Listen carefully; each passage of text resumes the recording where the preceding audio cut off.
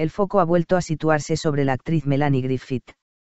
O más bien, sobre la última sesión de fotos de la que ha sido protagonista.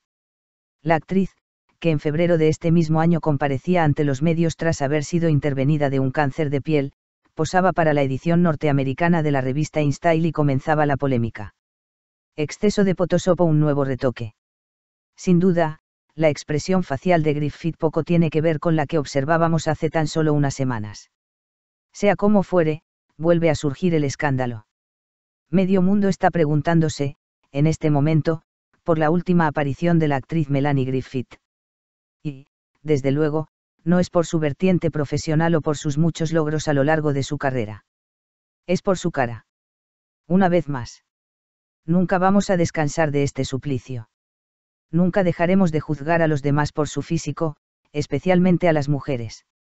Pues parece que, al ritmo que vamos, no tiene pinta. Aunque, por suerte, hemos ido conquistando mucho terreno. Griffith ha realizado un posado para la versión estadounidense de la revista InStyle y el resultado ha levantado polvareda. La propia publicación compartía dos instantáneas en su perfil de Instagram, dejando claro que, al menos, la postproducción de la sesión de fotos había sido algo excesiva. En ellas podemos ver a la actriz con un rostro que dista mucho del que hemos observado en las últimas semanas. Su expresión poco tiene que ver con la Melanie que vemos, sin ir más lejos, en sus redes sociales. Por el momento, Melanie no ha querido pronunciarse, de la misma forma que tampoco lo ha hecho la publicación. Después de que apareciese en público a principios de año para explicar que había sido intervenida de un cáncer de piel en la nariz y que se encontraba recuperándose, la intérprete ha retomado su ritmo de vida habitual.